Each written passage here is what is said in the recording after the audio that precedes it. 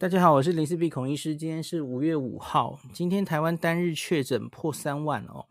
那最近这个有些专家或是我们这个指挥中心啊，卫福部自己啊，其实都有对疫情做了一些呃数理模型的推估啊，或是工位的推估等等，然后那这个推估当然不一定准啊，吼。那可是我我印象比较深刻的是，像这一波的香港疫情，大家记不记得那个香港大学其实有做一系列的这个建模的推估啊？诶，相对其实看起来还蛮准的哦。建模型不是这么简单的事啦，吼。那可是我今天看最新的卫福部报告啊，大家可能在新闻上也有看到哦。那想想有解释，他们这个其实是用 Rt 值等于二的话来推估啊。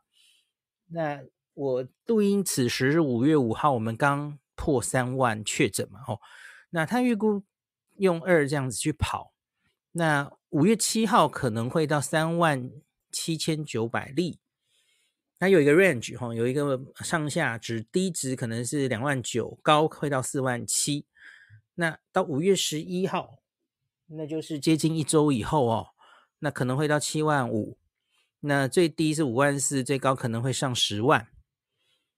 那阿中好像最近也有讲，大概到五二零，也许会到尖峰吧，哦，那所以大概是这样的推估，哈。那可是这个推估其实有一个问题，哈。假如这个推估里面考虑的只是 R 零值的话，呃，Rt 值用二就这样子直接二二二二这样算下去哦，其实事情不是这么简单的。怎么说呢？哦，第一个。他一定会遇到一个瓶颈的，他不会一一直一这样下去的。我说的瓶颈是不是病毒受到传染的瓶颈？我说的是诊断的瓶颈哦。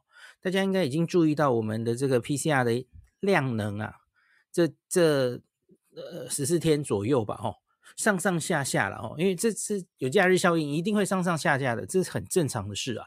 那可是我看最多大概一天可以做个七万多哦，那最低会到五万哦，上上下下。那我们今天阿中最新说法说，我们力量全开可以做到一天二十二万。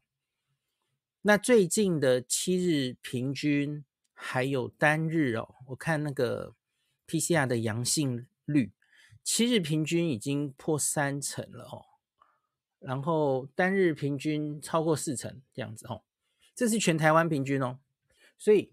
这跟我跟大家讲过，你确诊的高峰的那个数字跟很多因素有关。就像今天早上李冰老师在广播，在广播他也有被问到嘛，吼，哎，那个指挥中心好像推大概五二零会是高峰，然后高峰也许是呃十万，什么高推估低推估，大家都听过阿中讲嘛，吼。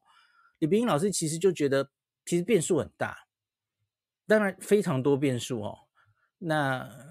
比方说，其实今天有一个变数也发生了，就是我们已经把部分的人哈，啊，可以让他快筛直接认定为确诊哦。当然人数可能还不多，好，可是这其实就是一个变数了，对吧？因为你多出了快筛，直接可以不用做 PCR 的量能哦，那所以你这个整个确诊的量能就多了嘛，吼，多了那群人可以用快筛确诊。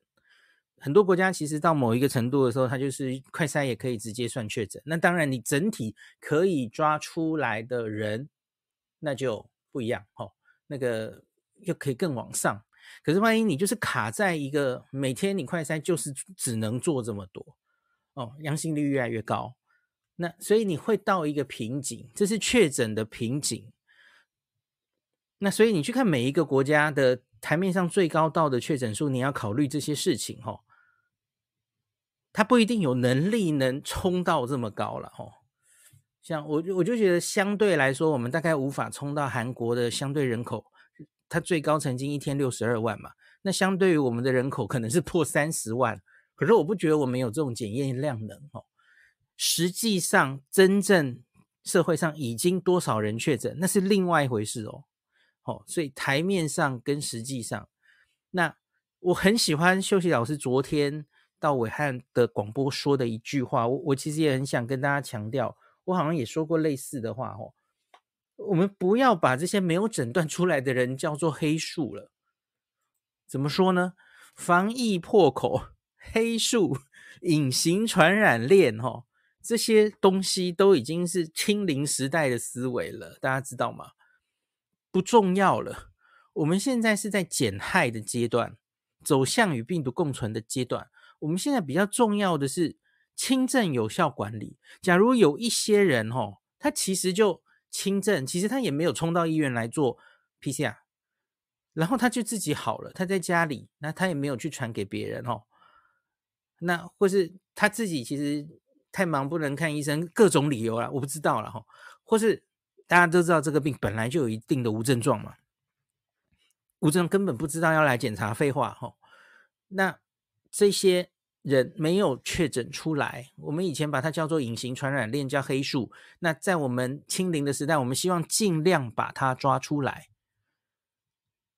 可现在不是了，我们现在哦要抓这些哦有接触风险的人，然后抓这些有症状、社区有症状的人，快筛都不够用了。你觉得我们还有什么力气或是什么必要？去抓这些以前叫做黑数的人了，我觉得是没有这个必要了哈。有症状再处理，应该是现在的大原则哦。那当然，假如你是接触一些比较呃脆弱的病人，那可能另当别论。你工作上你可能需要每天快筛，好，那是另外一件事哦。那可是我觉得现在呢，就不需要再用黑数形容了哦。那甚至反正因为怎么讲呢？有效管理轻症，还有重症求清零。重症你是不太会漏掉的，重症会跑出来哈，重症会打一一九，重症会被送到医院。重症的那一边要尽量减少，那里我们不几乎不太会漏掉它的，这里才是重中之重。那外面的轻症到底你抓到了多少？你有多少漏在外面？老实说，真的不是最重要的事了。我觉得对台湾来说哈，我现在还觉得黑数越多更好。怎么说呢？因为你现在把这些轻症的人抓出来，无症状的人抓出来，其实就是搞死大家了。大家不觉得吗？你确诊了一个人，我们现在就是还是要框列，对吧？还是会有一定的框列，我们还没完全放弃嘛，三加四。然后呢？然后还现在还在讨论那个电子围篱要不要拿掉哦。然后我们现在在努力用一些自自主通报系统电子化了哈，还在努力。那可是目前这个法定传染病系统的上传还是非常麻烦，忙死前线的那么多人哦。然后安排这些人的居家照护哦。新北现在最多嘛，首当首当其冲。我记得他们是不是说居家照护已经快八万人了？然后居家隔离的好像是三万左右吧，加起来就是这么恐怖的数字哦。那所以，我反而觉得你现在，我我们现在就是在在磨合嘛。我我我这几天在有话好说，常跟大家说，我们跟别的国家的问题是哦，因为别的国家这种染疫了，你就在家里自己好。那你第一个不要去冲医院哦，你是先问你的家庭医师，这种制度他们是行之有年的哦。这个轻重症分级医疗哈，不要。大病看大医院，小病还是看大医院哦。我们长期都是这样嘛，我们没有做好分级医疗。那你去看长庚、台大的门诊跟急诊，其实都是可进性非常高哈。别的医院不是这样啊，别别的国家不是这样，它是轻重症医疗是分的非常清楚的，你不能随便你跑去你太轻的症跑去急诊，人家会拒绝你的哦。那他到。大医院的门诊，你是要被转介的哦，所以他们人民早就养成了，就是不要轻易跑医院的。那跟台湾的习性是完全相反嘛？哦，那当然国外可能也有啊，就是保险的问题，哦，医疗费用很贵的问题，所以让他们无法轻易去就诊。这个我在美国的两年印象是非常深刻的啊，他们常常拖到很严重才会去看病。没办法，看病太贵了，有保险都一样哦。好，这个东西是我们原本很自豪的医疗的可进性，全民健保哦，大家都被照顾的很好。可是现在反而变成我们走向迎向这个奥密克戎海啸的时候的一个软肋了。别的国家早就这样子，人民是觉得很很自理所当然的，反正我有病，我知道我会自己好哈，吃些药哈，我就在家里就好了。我们可没有那么理所当然，我们民众需要再教育哦。那即使是在家里居家照护，也还是非常的被动哦。就说怎么没有任何人来关怀我哦，没有人 送什么东西来给我哦，然后就就是等着要人家一个口令一个动作哦。就我们的自主自主要自主防疫还需要教育哦。那所以我们现在在往高峰的时候，我觉得我们现在要磨的东西就是这个，要让民众习惯这件事哦。那那当然，行政上、医疗上要改进的当然还有很多嘛，大家都知道哦。那像什么，你你要送防疫包，你要送快筛，可是目前看起来都是大大底类哈，都没有送的很快这样子。那呃，人数还可能不到最高峰的时候，已经让大家忙成这样了哦。真的到高峰的时候还得了？那一定是崩溃哦。那所以我觉得，我我才跟你说，现在这个哦，快筛其实也。想买也买不买不太到，相对不足的时候哈，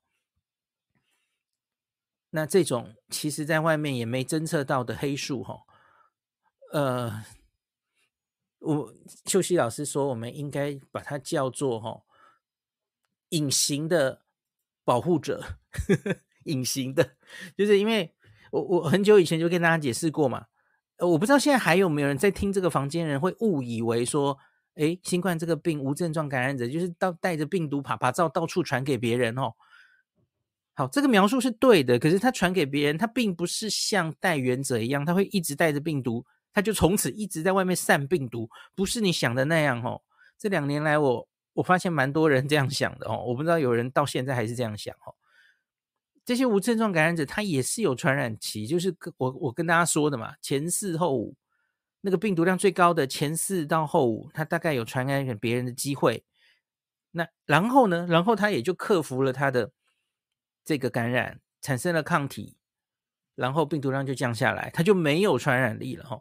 所以这种隐形传染链你是抓不生抓的，因为它是不停变不同的人传来传去，大家看得懂哈？听得懂哈？不是某一群人他被感染，他就一直在那边散。有些人可能是这样想的哈，不是这样的哈。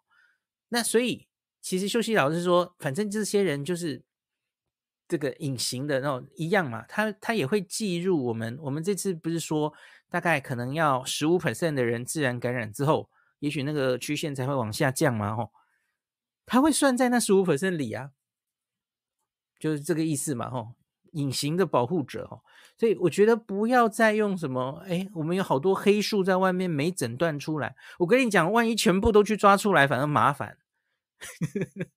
就这么多人哦，都要冲来急诊做 PCR 哦，风吹草动大家都来做 PCR 哦，一点点流鼻水我就冲去做 PCR 了。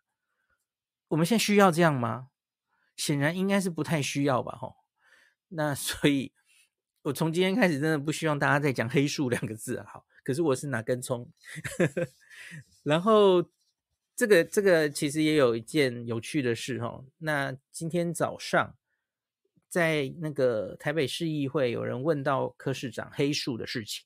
那我特别为此去算了一下哈，因为柯市长说黑数最高可能是多少？柯市长是说五倍哦。我们其实最近有一个国家正好有一个很好的资料可以告诉大家哈，你落在外面的没有确诊出来的，呃。所谓黑数大概是多少？我觉得每个国家可能都可以去算这个哈。那可是最近因为美国 CDC 他们公布了，那他们的去做那个血清血清的盛行率哦，那所以还有台面上他们已经确诊多少？那你其实就可以大概估出来，他大概已经多少人感染，然后不没有真的被你确诊出来，可是他已经有抗体了哈。好，美国 CDC 最近公布了一个他们的血清盛行率啊，说他们实际上已经感染的人大概有五十八 percent，那这是用 N 抗体测的，然后核抗体就是你要真正自然感染后，你才会产生这个抗体嘛，吼，五十八蛮多的哈，都已经接近六成了哦。那在这一波 Omicron，就是去年十二月啊，这一波 Omicron wave 之前其实只有三十四 percent，所以。经过这个冬天，他们多了二十四 percent 的人再感染吼，不可谓不多吧吼。那儿童更夸张吼，儿童是从四十五 percent 增加到七十五 percent。好，那可是目前台面上美国确诊是多少呢？数字也是到了一个里程碑哈，台面上确诊是八千三百零八万，然后刚刚跨过一百万个死亡，哇，真的蛮多的哈，致死率就是一点多嘛吼，上次跟大家讲过，那八千三百零八万，那占他们的总人口。三点三亿，只占了二十五 percent 哦，只占了四分之一。所以你看，二十五 percent 台面确诊，然后他们实际验血清学已经到五十八 percent 去了，所以这个是二点三二倍。所以他们的黑数就是就是那二十多 percent 哈，是正台面上确诊的二点三二倍。那你知道美国的 PCR 其实相对做的是没有那么多的啦，哈，相对于什么新加坡、英国、韩国这种国家，哈，以人口比来算，它相对做的不算多，那所以美国这个状态，它的黑数二点三二倍。好，我要跟你讲，这个黑数应该是低估。怎么说呢？因为哈，我们现在测的是 N 抗体嘛，可是这个 N 抗体其实是会消退的。这个其实看英国的资料也知道，我今天有跟何美香老师讲，哈。随着时间过去，N 抗体可能会消退。那罗富不是也有跟大家讲吗？我们原本测这些阴阳人的判定哦，有说要 N 抗体阳性才可以，可是他他发现有一些人的 N 抗体会测不到，大家记得吧？哈，所以 N 抗体没有不代表一定没有哈，所以 N 抗体这个疑似低估，所以呢，美国的黑数哈二点三二倍起跳，OK，没一定 应该是更高哦，哈，好，这给大家参考。那所以这个科批今天回答说是我们的黑数会不会是五倍啦？我就大家自己判断，我不置可否，我我不知道，因为那要看我们的最后了哈，筛检量能啊，那个你看 PCR 阳性率会高到多高，那就是漏在外面可能有多高，可是这大概没有一定的公式可以算。好，那接下来我们就来讲一下。几位老师对于这个接下来疫情的一些预估哦，那包括了陈秀熙老师是昨天上伟汉的广播，他有讲一个预估哦，他他还算蛮有把握的，他说啊，接下来大概一点五一点五个月左右，应该疫情就会往下坡走哦。一，他说在一个半月恢复正常生活，疫情会转趋地方性流感。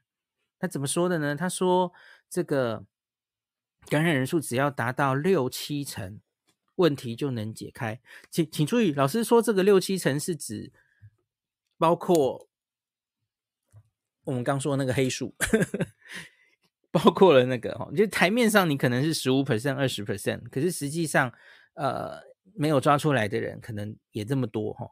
那有有更多哦，他说感染人数达到六七成，问题就能解开。他估计这个时辰不会超过一个半月，那台湾疫情高峰就会下降，结束大流行的状况。所谓的结束，其实就是变成转区地方性的流感。那国外正在走向群族群免疫，国内现在也正要走这条路，应该鼓励无症状、轻症得了康复就好。也不用居隔这么长时间，框列这么多人，严重影响大家的正常工作。毕竟这些轻症者没多久就康复，跟中重症是不一样的哦。应该把量能、医疗量能留给这些中重症者哦。那秀熙就提到，希望大家不要再 说黑数了哦。黑数就是未被未被列为确诊的感染者，这些人可能是因为打过疫苗，也可能是年轻力壮，被感染却无症状，或是症状极轻微。他们自然不会去检测嘛，也不会变成确诊者被你抓到嘛，哦。那所以休息老师昨天就说，他觉得是一个半月，从高峰就会开始往下降，请注意他的这个预测了哈。嗯，从现在开始一个半月，那其实大概就是到六月底七月吧，哈，就会开始往下降这样子哈。那。这个，这个，这个是老师的预测。那有另外一个李冰英老师的预测，他是早上上那个广播哈。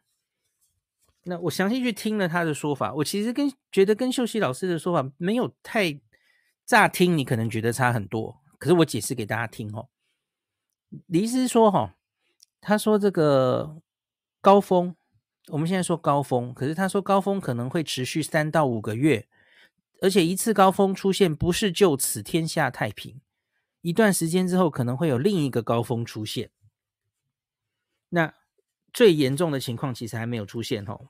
台湾不能排除一天可能会出现几十个死亡案例的可能。那老师是用国外的疫情对过来了哈，就国外假如那样的确诊率，然后那样子的发生死亡的案例，他好像主要是对韩国吧哈。来，我我来逐字稿念给大家听好了哈。那他说达到高峰后维持三到五个月才下降。好，我跟你讲，有些媒体这样写，可是我去听。逐字就是老师的广播，他不是这样讲的耶，他是说维持三到五个月，然后才降回原本的原本的阶，就是那个程度。所以我一开始看我也误会了，我就说，哎，其其这个高峰怎么可能维持三到五个月？没有国家是这样走的哦。可是听老师的意思，他是应该是一波上来，大家懂吗？那就是那整个山丘 或者整个山。下来到完全已经走完了，那叫一个坡哦，一个高峰。它不是讲高峰会维持多久，我觉得会让人误会哈。维持在最高的时候，不不可能停在那太久的啦。我跟大家讲过嘛，看国外的这这个经过阿米孔的这一波，大家在停在高峰的时间，顶多大概一个月到一个半月，然后就会往下降哈。所以大家听懂吗？乍听下，这两个老师讲的不一样，可是其实好像差不多。秀熙说的是在高峰那个程度，大概一个半月就会往下降。那可是老师这个李明老师说是整个这一波走完，大概要三到五个月。那的确是没错，大家自己去看嘛。大家看香港应该印象很深刻嘛，是农历过年开始变变严重。日本、韩国都是国历的过年过过来就开始变。变严重，那现在其实他们也没有降到哪里去，对吧？香港是降的很低哈，可是日韩其实都还有一定，所以照李斌老师来讲，其实的确现在已经四五个月了，没有错嘛哦。好，那老师说转折点何时出现呐？你你真的到那个高峰的时候，你当然不是第二天、第三天看它往下降，你就说啊已经往下降了，不会是这样的啦哦。老师说要拿着远远的看哦。你才能看到一个趋势哈，所以到了一个高点，然后看它是不是真的下来的时候，可能还要观察个一周左右了哈。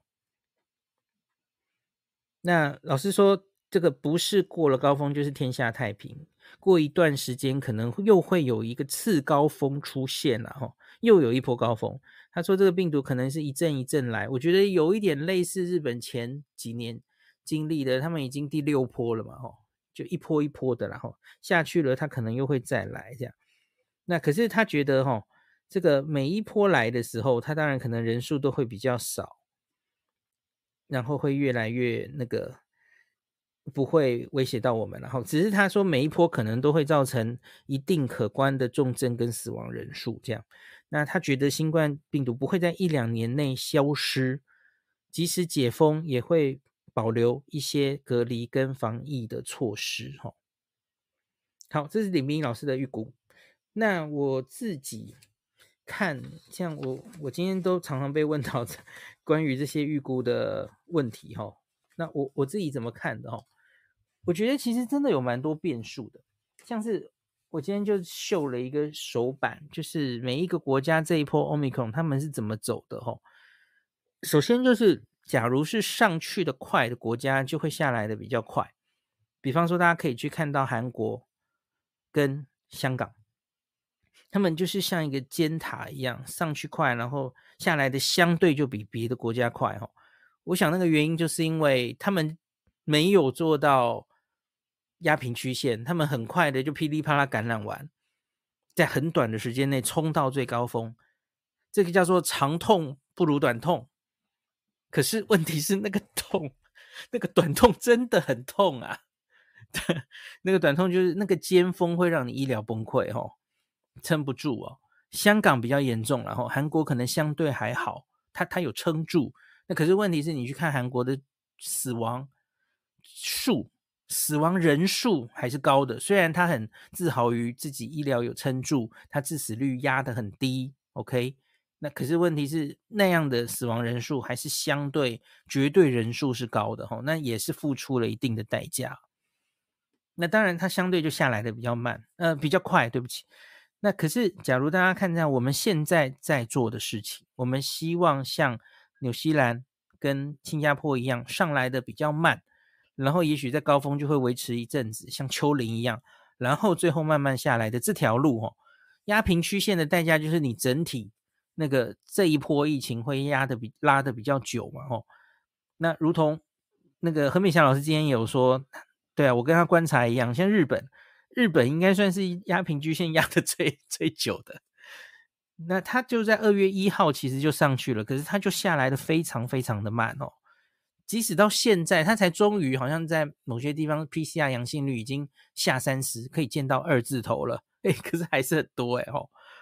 那可是他已经不怕了，他已经过了这波疫情最严重的时候，那个医疗那个我看他们现在的住院率啊。重症率啊，其实都极低吼，已经几乎对医疗不会造成什么特别的危害了吼。所以日本现在进入黄金周，那大家都在国内旅游，对呀。那所以我觉得应该就是下来的时间吼，呃。第一个就是跟你压平曲线与否有关。我觉得看台湾的曲线现在偏向是有压平的状态。今天何美香老师也有秀给大家看嘛，吼，因为你跟国别的国家那个起来的曲线比，我们的确是相对比较平的哦，不是这样坐坐电梯直线上升，说我们是有压过的，看起来哈。那所以我觉得我们下来也会比较慢的。那全部。走完这整个坡，也许如同李冰英老师说的，我还蛮同意的哦。也许就是三到五个月，这是看别的国家是这样的，没有错哈。那另外还有一件事情是，这个这个维持在高点会盘旋一阵子，有两个原因。第一个原因就是我跟大家说检验量能的问题哦，因为啊，假如你的 PCR 很多。量能非常充足，你台面上就会抓出更多案例，对吧？那不然你可能就会卡在某一个地方哦，有一个天花板在那。那另外还有一个因素就是，我们未来会不会开放呃快筛阳就直接算确诊？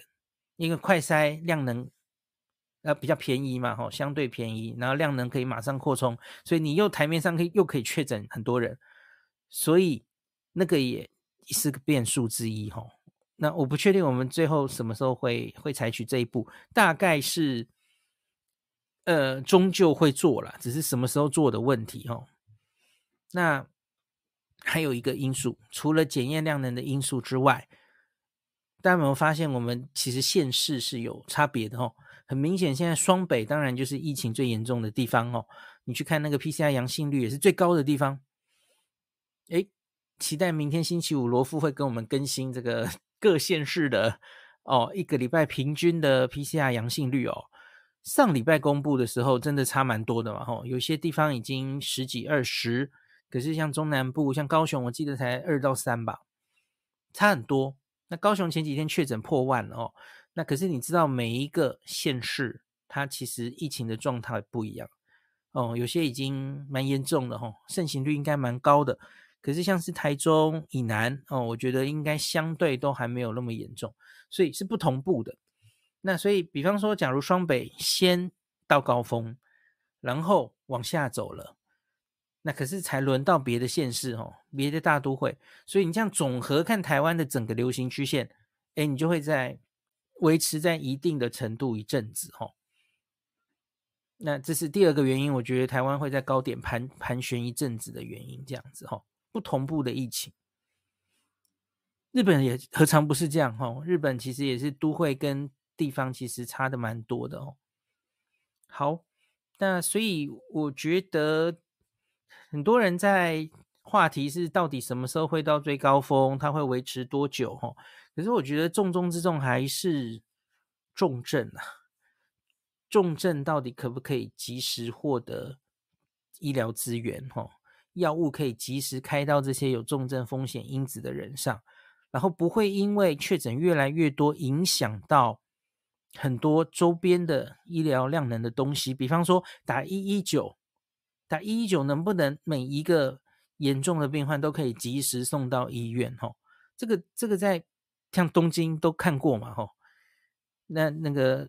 当医院实在有一点这个非常捉襟见肘的时候，他甚至是一一九接到人，然后他根本大概二十分钟内没有办法决定要送到哪里去。哈，这个东京都发生过嘛，别国都发生过嘛。